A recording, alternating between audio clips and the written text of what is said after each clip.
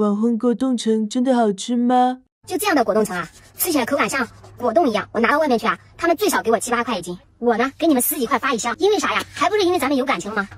嗯，真好吃。果冻橙这么好吃还这么便宜吗？买回来了，三十九块九五斤，不是十几块钱一箱吗？咱们的感情呢？这里有好多好多小伙伴叫我拍的，我甚至怀疑是商家特意发给我的，证明他们家果子好。你们有没有刷到过这个视频？评论一下。哇，满满的一箱啊！它是有两层，上面六个果子，下面只有四个，一共十个啊，五斤，称一下，幺幺六八。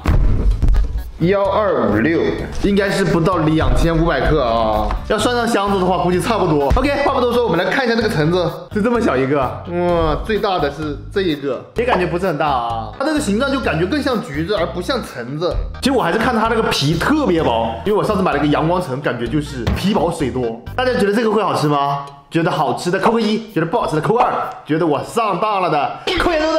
接一个，啊，挑个大的。哦。还行哎，看一下，它的皮确实很薄啊。我们来试一下它汁水到底多不多。这可是八块钱一斤的橙子啊，我有点舍不得。用碗接着，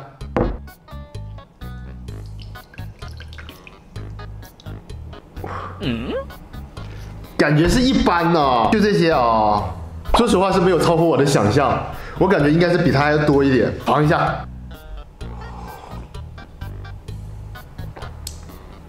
就是橙子的味道有一定的酸度，我尝一尝这个渣，这里面水分还是很多。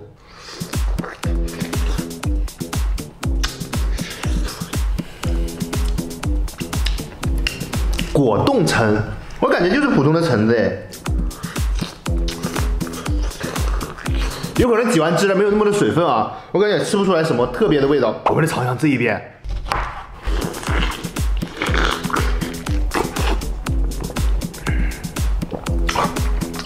水分还是真多，但是是偏酸的那种类型的味道，我感觉是偏向于橘子，而不像橙子，主要是以酸为主，甜为辅。果冻橙是这样的吗？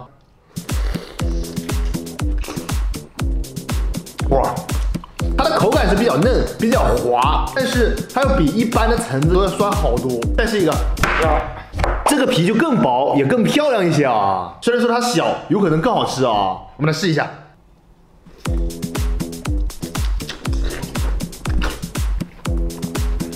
还是偏酸，它真的是酸的。其实我一直以为橙子是那种非常甜的啊，但它这个就是偏酸的，你一吃下去酸就是主导。整个来说还可以吧，价格的话没有他说的那么便宜，没有那么甜，皮的话是很薄的，水分也还行。OK，今天这个果冻橙就吃到这里了，大家有什么网红美食可以留言评论，喜欢视频的点个关注点个赞，我们下期见，拜拜。